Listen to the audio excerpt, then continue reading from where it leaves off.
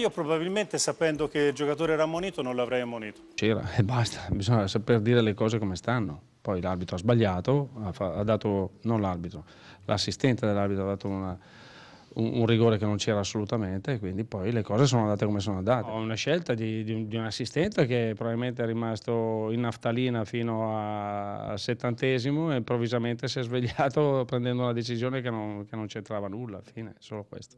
C'è disparità secondo lei nei giudizi, visto che appunto lei ha giocato anche in grande squadra, ha giocato nel Milan? A me interessa quello che è successo oggi. Sicuro che se questa- un episodio del genere capita in una grande squadra non, non è rigore mai, mai. Questo pacifico. E dunque partiamo proprio da quest'ultimo episodio. Eh, sembra che ci sia stato l'errore. Eh, guardando le immagini condivido la prima parte delle affermazioni di Donadoni. Un errore, e tale è, c'è poco da discutere. Non condivido ovviamente la seconda parte dove si parla di piccole e grandi squadre.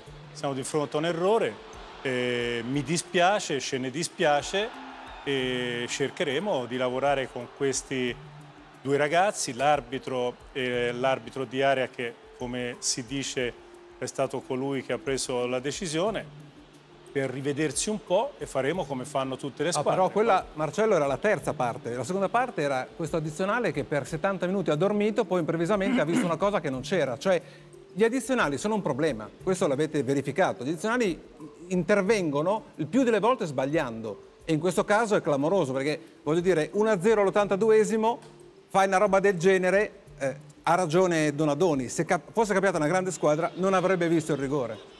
Zazzaroni, se parliamo dell'errore c'è poco da discutere, l'ho ammesso perché le immagini sono queste e sono anche abbastanza chiare.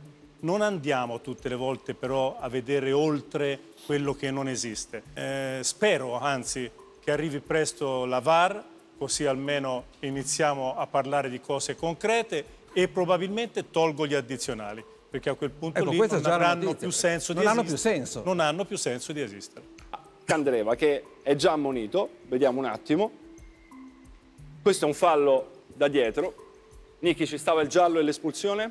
Ci sta di tutto come ci sta niente. L'arbitro che è in campo giudica a secondo di quello che vede e, e quello che si vede in campo a volte non è quello che si vede con un obiettivo. Ah, tu Vale- cosa avresti Vale, fatto? vale a dire, ma io probabilmente sapendo che il giocatore era ammonito non l'avrei ammonito. Cioè fallo Perché? da dietro non è No, automaticamente non, l'avrei- giallo. non è automatico niente perché eh, nel calcio non tutti i contatti sono falli. Ci sono falli, ci sono contatti che sono falli, ci sono contatti che non sono niente. Sì, però se Però hai detto una cosa grave? eh? perché Cioè, dici, sapendo se- che era già ammonito, non l'avresti ammonito? No, no, Scusami, no. È l'interpretazione dello spartito, Eh, certo. No, no, no, perché è ammonito uno, se c'è la seconda la prende. Io credo che in quel caso lì non ci sia stata una gravità tale da richiedere la seconda ammonizione.